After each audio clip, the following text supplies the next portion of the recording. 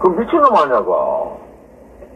아니, 그게 문제가 아니고, 스물 몇살된 문, 문 놈이 벌써부터 그런 거 되었다는 것이 그 말이 되나? 아, 그래. 그게 문제지. 뭐, 기수가 되고 안 되고 그게 문제가 아니라니까. 그런 놈이 어떻게 당대표를 하고 한다노? 어. 어.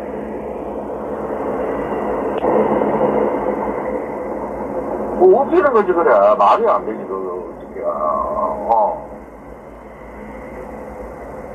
아 사회가 그렇게 그지 마음대로 할 수 있는 사회가 아니잖아. 오락오락하게.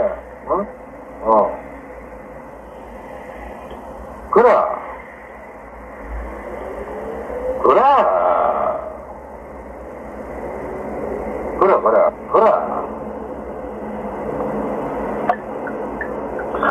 아, 참, 그, 그. 그, 참, 이렇게 비도덕적이고, 어? 그, 그, 저, 전매한 놈이, 말이야, 전만한 놈이, 어릴 때부터 그런 거부터 배워가지고, 어? 어, 어. 그래, 그래, 그래.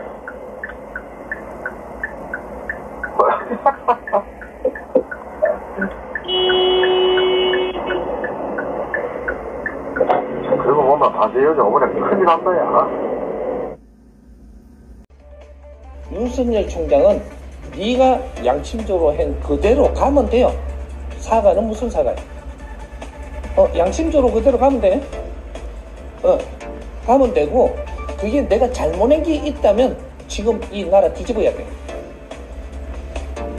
그래서 뉴스가 있는 저녁 제작진이 천공 스승의 이야기를 직접 들어봤습니다. 앉아가지고 안 움직여! 한심한 놈 같으니라고 내가 너 한번 사고 칠 줄 알았어 이 새끼야! 짜증나게 일을 처리하고 있어 이 새끼 뭘 쳐다봐! 좀 조용히 좀 해라. 정신을 집중할 수가 없잖아. 나가.